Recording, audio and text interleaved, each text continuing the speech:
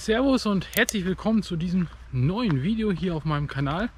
Heute gibt es mal ein kleines Kanal-Update, beziehungsweise ich möchte mit euch darüber sprechen, was ist in den letzten Wochen passiert, was mache ich aktuell und was plane ich in der Zukunft, beziehungsweise was kann aktuell vielleicht nicht mehr durchgeführt werden. Und natürlich sprechen wir in diesem Video auch über das Ordnerprojekt, denn da haben sich einige Änderungen ergeben, die, ja, ich sag mal, nicht so toll sind, aber dazu später im Video mehr.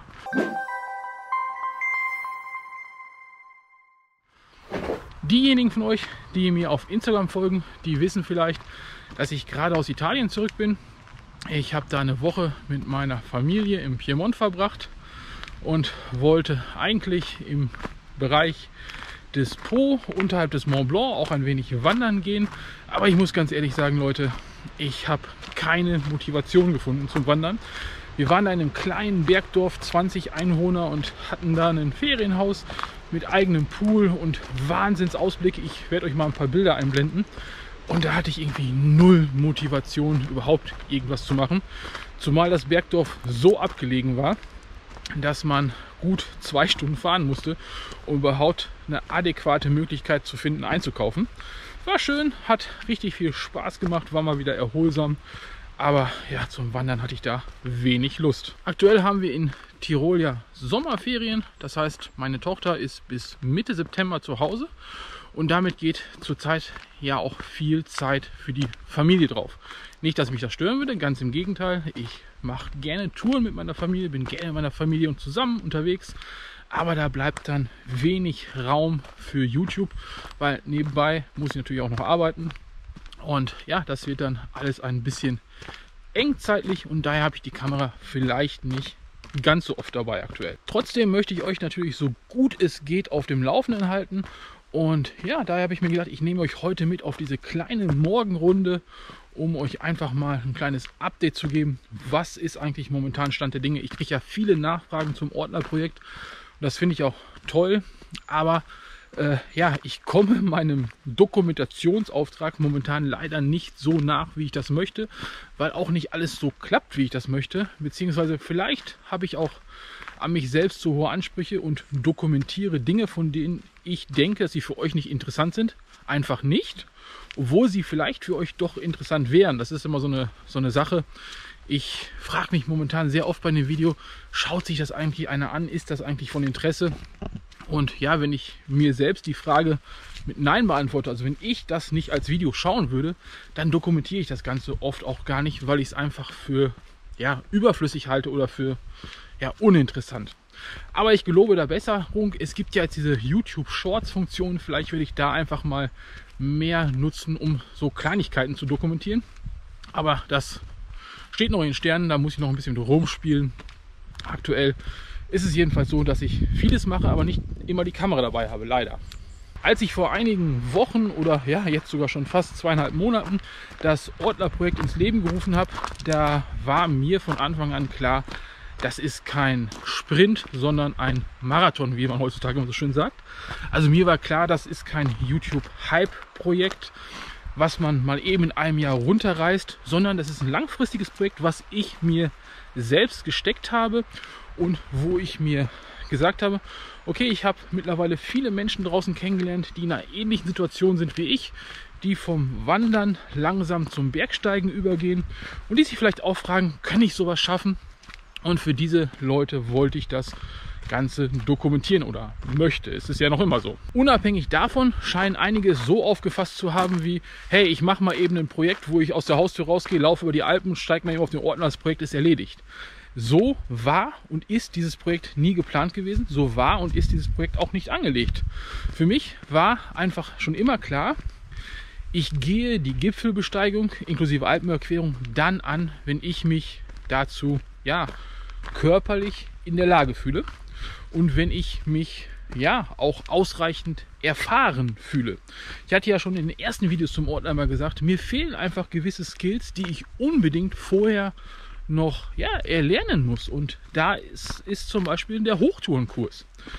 Und es ist aktuell so, ähm, es werden zwar wieder Hochtourenkurse angeboten, aber äh, ja, ich muss ganz ehrlich sagen, Ich habe bisher keinen Bergführer gefunden, der mir erlaubt, das Ganze mit der Kamera zu dokumentieren. Das sind meistens Alpenvereinskurse und das ist ein riesen Hickhack, da äh, die Kamera mitzunehmen. Und ich bin auch schon bereit, mir selbst einen einzelnen Bergführer zu buchen, der mir quasi den Kurs in einer Einzelstunde gibt, also in Einzelstunden gibt. Das ist natürlich wesentlich teurer. Aber auch da sagen mittlerweile viele Bergführer, äh, ja, nö, wir hatten jetzt so lange nichts gemacht, wir machen jetzt erstmal die Gruppenkurse und etc. Also es ist da sehr schwer für mich momentan einen geeigneten Bergführer zu finden, der mit mir die Ausbildung macht und so, dass ich sie auch dokumentieren kann, weil viele möchten das auch gar nicht. Man hat mir erzählt, da geht es auch um rechtliche Dinge. Ich weiß es jetzt nicht, kann das nicht beurteilen. Aber nur mal so als Hintergrundwissen für euch, das ist ein Punkt, der mir gerade schwer im Magen liegt. Und ja, ich hoffe, dass es da gegen Ende des Jahres besser wird. Aktuell ist es jedenfalls nicht so, dass ich da äh, viel Erfolg habe in diesem Bereich. Ein weiterer Punkt, der ja zumindest in diesem Sommer richtig extrem ist, ist halt die Belegung der Hütten. Also die meisten Hütten waren nach Öffnung der Grenzen schon komplett ausgebucht und es gibt ja immer noch die Auflage, einen eigenen Schlafsack, hier in Österreich teilweise sogar ein Kopfkissen mitzunehmen. Und das erhöht natürlich das Gepäck massiv. Und ich muss euch ganz ehrlich sagen, da habe ich keinen Bock drauf. Also eine Hüttentour unter Corona-Bedingungen ähm, ist für mich ein absolutes No-Go. Habe ich keinen kein Nerv drauf. Ich habe keinen Nerv, mich auf jeder Hütte zu registrieren. Ich habe keinen Nerv drauf, die ganze Sonderausrüstung mitzuschlüren. Und ja, von daher fällt die Alpenüberquerung in der geplanten Form in diesem Jahr sicherlich definitiv erstmal flach, weil das Ganze für mich nicht so durchführbar ist, wie ich es möchte. Und ich mache kein Projekt für YouTube, sondern ich mache ein Projekt für mich und ich nehme YouTube, also euch quasi mit. Und von daher äh, gehe ich die Tour dann, wenn ich es für mich sage, okay, die, ja, die Rahmenbedingungen sind so, dass sie für mich aktuell passen und zurzeit sind sie es nicht. Ich weiß nicht, ob die Rahmenbedingungen Ende September vielleicht wieder so sind, dass sie für mich passen. Stand heute, Anfang Juli, sind sie es jedenfalls nicht. Und von daher kann ich zum Zeitplan momentan auch gar nicht so viel sagen. Ein weiterer Punkt ist derzeit auch ja, die Kondition. Ich weiß gar nicht, was mit mir los ist. Konditionsmäßig bin ich, obwohl ich viel laufe, obwohl ich viel wandere, total im Keller. Und ich bin momentan in einer Situation, wo ich sage, äh, ich würde aktuell, wenn ich heute starten würde, die Tour schon konditionell gar nicht schaffen. Und daher liegt bei mir momentan der Fokus viel auf Konditionsaufbau. Ich habe am Anfang des Projekts mit Tobi Alpinfex auch ein bisschen über das Projekt gesprochen und er hat zu mir gesagt, ja, das Beste, was ich für das Projekt tun kann, ist viel, viel wandern, viel, viel Höhenmeter machen und der Rest kommt ganz von alleine. Das heißt, er hat mir so als Richtlinie gegeben, so eine 8 bis 10 Stunden Tour müsste ich locker machen können, ohne jetzt irgendwelche ja, äh, konditionellen Einbrüche zu erleiden. Und das ist, sage ich ganz ehrlich, momentan nicht drin. Ich weiß nicht warum und das nervt mich selber, aber das ist ein Punkt, der mich bremst und ich plane momentan nicht weiter, wenn die Rahmenbedingungen nicht, nicht stimmen. Ein weiteres Problem hat sich jetzt kurz vor dem Urlaub aufgetan. Und zwar hatte ich am letzten Tag vor dem Urlaub noch eine kleine Lechwegtour geplant. Ich wollte zwei Tage auf dem Lechweg wandern und zwar von zu Hause aus das Ganze mal durchtesten und wollte da ja halt lechaufwärts zwei, drei Etappen gehen. Ich muss jetzt sagen, an dem Tag war es super heiß und bin dann von zu Hause aus losmarschiert. Mein Plan war, irgendwo bis vor der Hornbach zu kommen, um dort abends ein Lager aufzuschlagen oder auf dem dortigen Campingplatz zu gehen. Aber so ab Kilometer 20 habe ich einen massiv stechenden Schmerz in meinen Waden gefühlt. Ich habe erst gedacht, ich hätte irgendeine Pflanze gestriffen, die mich gestochen hat oder irgendwas. Hatte auch eine lange Hose, habe da jetzt nichts gesehen und bin weiter marschiert. Und ja, irgendwann bei Kilometer 23, 24 ging dann gar nichts mehr. Es hat gebrannt wie Feuer. Es hat gejuckt, alles irgendwie gleichzeitig. Und ich habe mich dann von meiner Frau abholen lassen und habe dann abends gesehen, dass meine Schienenbeine voller roter Flecken waren. Erstmal natürlich total erschrocken und ja, habe da ein bisschen recherchiert und habe gelesen, dass das die sogenannte Pilgerkrätze ist. Hört sich jetzt dramatisch an, ist gar nicht so dramatisch, aber nervig und störend und schmerzhaft teilweise. Dieser Pilgerkrätze, ich habe da im Übrigen auch Bilder gepostet oder ein Bild gepostet auf meinem YouTube Community Tab. Da poste ich insgesamt sehr, sehr viel. Ihr solltet also, wenn euch das Projekt interessiert, unbedingt den Kanal abonnieren, damit ihr diese Postings auch mitbekommt. Denn da gibt es definitiv immer mal Zwischenupdates. Aber zurück zum Thema. Ihr merkt es, also kleiner Berg und schon wieder aus der Puste. Ist ja grausam. Bei dieser sogenannten Pilgerkrätze handelt es sich um ein Gefäßproblem. Das heißt, bei hohen Temperaturen, bei hoher Belastung halten die Gefäße das Blut nicht mehr ausreichend und ja, es blutet ins Gewebe. Und das sind halt diese roten Flecken. Das äußert sich bei jedem unterschiedlich. Bei den einen ist es so, dass es halt nur juckt, andere merken gar nichts. Bei anderen ist es eher noch schmerzhafter wie ein Brennnesselstrauch. Und ja, leider gehöre ich zu dieser Art von Mensch, die eben dieses unheimliche Brennen haben.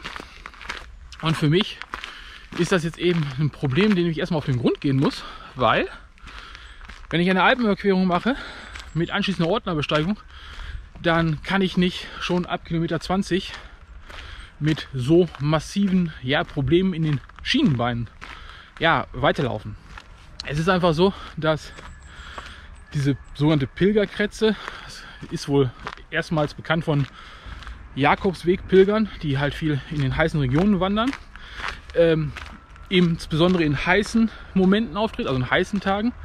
Das hieße für mich schon mal, äh, Hochsommer äh, wäre schon mal komplett tabu. Und jetzt muss ich erstmal gucken. Viele Ärzte kennen sich mit, der, mit dem Phänomen auch gar nicht aus. Es gibt auch kaum Informationen im Internet. Ich habe von den einen oder anderen von euch draußen sinnvolle Tipps gekriegt. Daher an dieser Stelle auch erstmal danke. Die muss ich erstmal alle ausprobieren und ein bisschen auf den Grund gehen.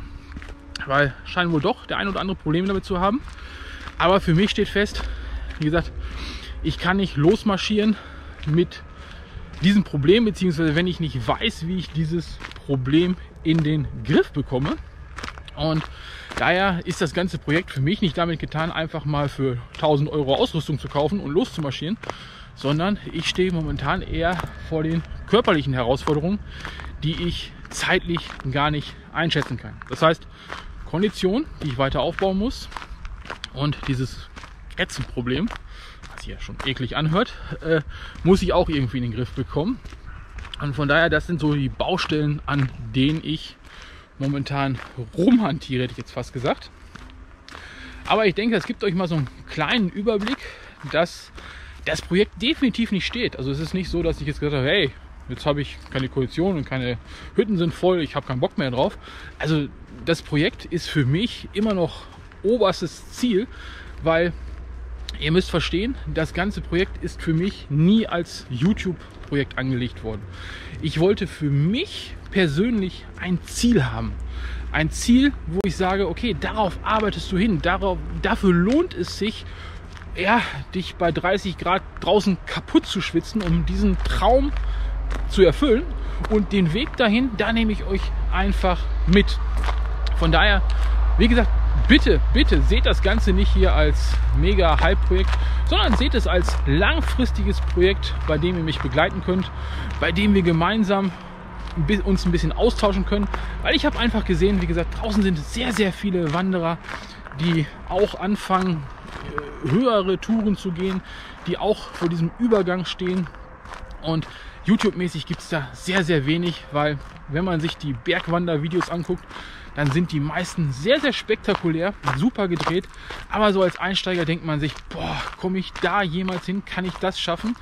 Und ich denke, es machte auch Sinn, einfach mal ein paar Sachen ruhiger zu dokumentieren in Verbindung mit der Ausrüstung, die wir auf meinem Kanal ja auch immer besprechen.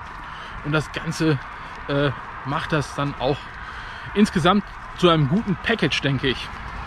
Jetzt stellt sich natürlich die Frage, wie geht es hier weiter? Und natürlich geht es hier weiter. Natürlich werde ich auch weiterhin alles dokumentieren, sofern es, sofern es möglich ist und sofern es interessant ist. Aber bei dem Ortler-Projekt muss ich jetzt aus gesundheitlichen Gründen erstmal einen Schritt zurücktreten. Das heißt, ich werde mich jetzt erstmal vorrangig darauf konzentrieren, lange Strecken zu wandern. Und zwar lange Strecken mit Rucksack. Ich habe mir da verschiedene Möglichkeiten ausgesucht. Ich werde einige Etappen auf dem Lechweg jetzt gehen, werde die unterteilen für mich selbst so in 20 Kilometer Etappen, damit ich sehe, wann das Problem mit der Pilgerkretze genau auftritt. Dann habe ich den Starkenberger Panoramaweg, ich habe den Adlerweg, also ich habe da so einige Wege, die ich jetzt erstmal immer in zwei, drei Tagesetappen, wahrscheinlich eher zwei Tagesetappen gehen möchte, um zu schauen, wie sich das Ganze entwickelt, wie das Ganze auf verschiedene Außentemperaturen reagiert und mit welchen Mitteln ich das Problem letztendlich in den Griff bekommen kann. Ich hoffe, mit diesem kleinen Video konnte ich euch einen Überblick verschaffen über die Dinge, die sich momentan ja, ändern, beziehungsweise was mich gerade bewegt oder stört. Und ja, auch wenn ich es nicht gerne zugebe, sind es momentan eher körperliche Befindlichkeiten, die das Projekt ein wenig bremsen. Aber das bekomme ich auch noch in den Griff. Und von daher bleibt gesund, habt eine schöne Woche und wir sehen uns dann hoffentlich bald im nächsten Video wieder. Ciao!